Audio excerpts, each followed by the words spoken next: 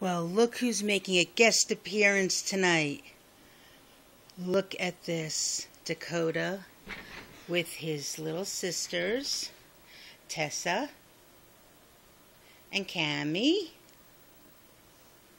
And he's meeting his sisters for the first time now because I've been so busy and selling dolls and um, just like busy with doing life stuff that I have neglected my poor new baby, who is my prince. And um, I put him in this new outfit that Jenna B, the Jenna B one two three sent. She sent beautiful outfits, uh, two beautiful boy outfits, and two beautiful girl outfits. And the girl outfits will be going on Lily and Lola very very soon.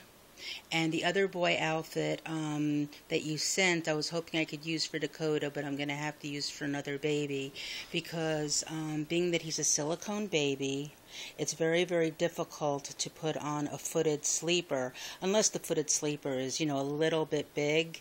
And um, the sleeper that was sent is a, is a little bit too small for him. And as it is, to put him in his outfit, it took me almost five minutes to get him in the outfit because I want to do everything very carefully and not hurt him, you know, his silicone in any way. But, okay, enough of that. Hello, my little baby, preemie, teeny weeny baby. This is Bean and Sprout. Remember them? Oh, la la la. Tessa and Kami. And they're meeting their baby brother, Dakota. And um, this is very, very exciting because you're going to see all the babies now in my nursery meet baby Dakota who right now is the star of the nursery. You know what I mean, because he's my first real big silicone baby. He is awesome and gorgeous and wonderful and super, super special. I love him like you know when i think about him seriously it brings tears of my eyes to my eyes just tears of joy that um, i actually have a silicone baby who is so gorgeous and awesome as him melissa when she um, adopted him from Melissa McCrory. Excuse me. Yes, I think I'm getting a cold, but enough of that. um, when she requested a nice red hair, the nice red hair, you know, full head of hair, Melissa McCrory did such a wonderful job. He is gorgeous, guys. Absolutely just stunning. And I'm sure you know that. You've seen Melissa's videos and such.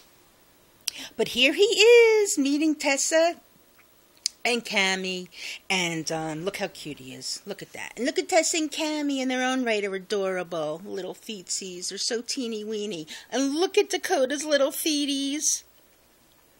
Aren't they gorgeous? Look at him. Look, look, look. Jiggle, jiggle, jiggle.